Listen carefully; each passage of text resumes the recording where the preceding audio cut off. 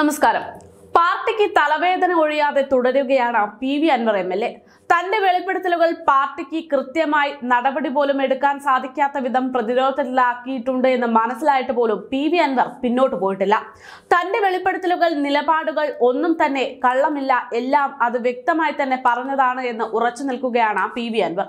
ഇതിനിടെ മുഖ്യമന്ത്രി പിണറായി വിജയന്റെ പൊളിറ്റിക്കൽ സെക്രട്ടറിയെ കുറിച്ച് മാത്രം മനഃപൂർവം പി വി അൻവർ ഒരു സമയത്ത് ഒന്നും പറയാതെ ഒഴിഞ്ഞു മാറിയിരുന്നു. എന്നാൽ മുഖ്യമന്ത്രിയുടെ പൊളിറ്റിക്കൽ സെക്രട്ടറിയെ രക്ഷിക്കുക എന്നത് ഇനി പി വി അൻവറിന്റെ കയ്യിലും നിൽക്കില്ല.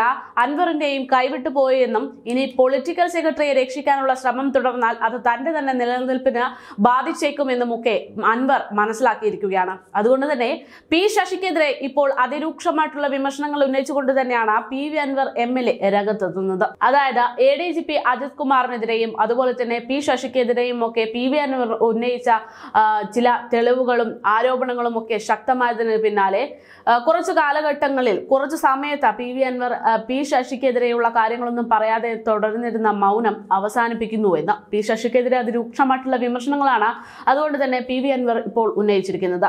A D G P M R Ajith കുമാറിനെതിരായിട്ടുള്ള vigilance അന്വേഷണം വൈകിപ്പിക്കുന്നത് മുഖ്യമന്ത്രിയുടെ പൊളിറ്റിക്കൽ സെക്രട്ടറി ആയിട്ടുള്ള പി ശശി തന്നെയാണ് എന്നാണ് പി വി അൻവർ ഇപ്പോൾ വ്യക്തമാക്കുന്നത്.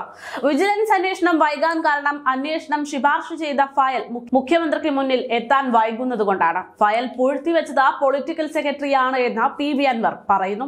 A D G P A D G പിക്കെതിരെയുള്ള അന്വേഷണം നല്ല രീതി നല്ല തീരുമാനമാണെന്ന് പി വി അൻവർ ഇതോടൊപ്പം കൂട്ടിച്ചേർത്തു. കോട്ടക്കൽ പോലീസ് സ്റ്റേഷനിലെ കെട്ടിട നിർമ്മാണം അന്വേഷണ പരിധിയിൽ വന്നിട്ടില്ല എന്നും അതുകൂടി അന്വേഷിക്കണമെന്നും അതിന് ആവശ്യപ്പെട്ട് ഡി ജി പിക്ക് പരാതി നൽകുമെന്നും അദ്ദേഹം പറയുകയുണ്ടായി. നിലവിൽ അന്വേഷണം ശാന്തമായി നടക്കുന്നുണ്ട്. എന്നാൽ അന്വേഷണത്തിൽ മെല്ലപ്പൊക്കുണ്ട് എന്നാണ് പി വി അൻവർ ഉന്നയിക്കുന്നത്.